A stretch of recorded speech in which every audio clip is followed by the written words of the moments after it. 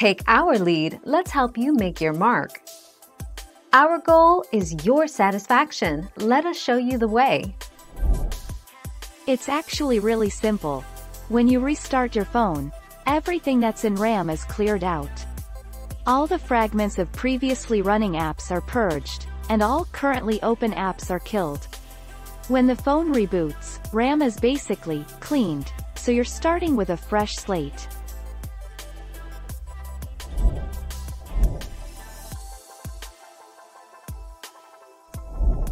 Let's help you make your mark.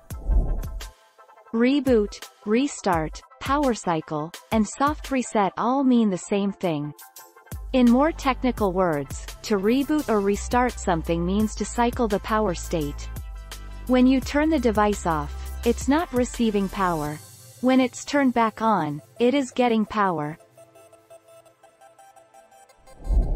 Thank you for watching. Please subscribe and hit the bell notification.